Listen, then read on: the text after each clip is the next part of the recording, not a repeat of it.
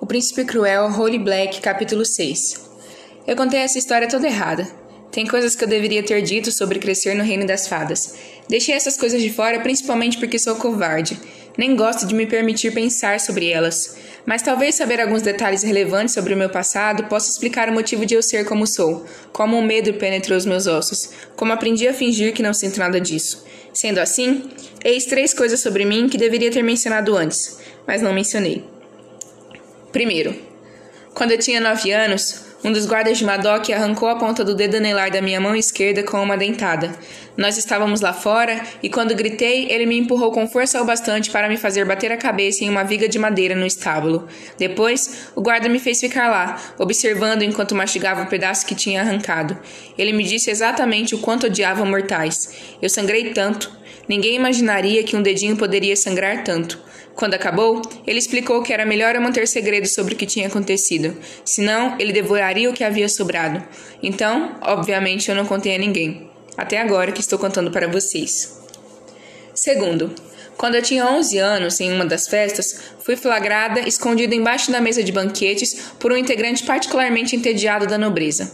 Ele me arrastou para fora pelo pé e eu fiquei me debatendo e chutando. Acho que ele não sabia quem eu era. Pelo menos é isso que fico dizendo a mim mesma. Mas ele me obrigou a beber, e eu bebi. O vinho férico verde-grama desceu pela minha garganta como néctar. Ele dançou comigo pela colina. No início foi divertido, o tipo de diversão apavorante que em metade do tempo faz você gritar para ser colocada no chão e na outra metade deixa você tonta e enjoada. Mas quando a diversão passou e eu não consegui parar, foi apavorante. Acontece que meu medo também era divertido para ele. A princesa Elovin me encontrou no final da festa, vomitando e chorando. Ela não me perguntou nadinha sobre o que me deixou naquele estado. Só me entregou para a Oriana como se eu fosse um casaco esquecido. Nós nunca contamos a Madoc. Que sentido faria? Todo mundo que me viu deve ter pensado que eu estava me divertindo. Terceiro. Quando eu tinha 14 anos e Ock tinha 4, ele me enfeitiçou. Não foi de propósito. Bem, pelo menos ele não entendia muito bem porque não deveria me enfeitiçar. Eu não estava usando nenhum amuleto protetor porque tinha acabado de sair do banho. O Ak não queria ir para a cama e me encantou para brincar de bonecas e nós brincamos. Depois me mandou correr atrás dele e brincamos de pique-pique pelos corredores. Então ele descobriu que poderia me fazer estapear o meu próprio rosto, o que era muito engraçado.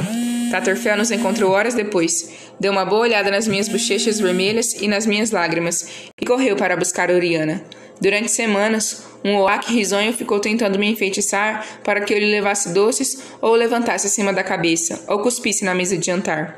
Embora nunca mais tenha dado certo, já que eu nunca mais deixei de usar meu cordão de frutas sorveteira depois disso, precisei me controlar durante meses para não lhe dar uma coça.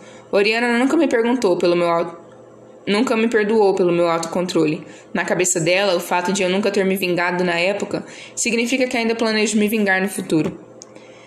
Eis porque não gosto dessas histórias. Elas mostram que eu sou vulnerável. Por mais cuidadosa que eu seja, vou acabar cometendo outro erro. Sou fraca, sou frágil, sou mortal. E odeio mais que tudo isso.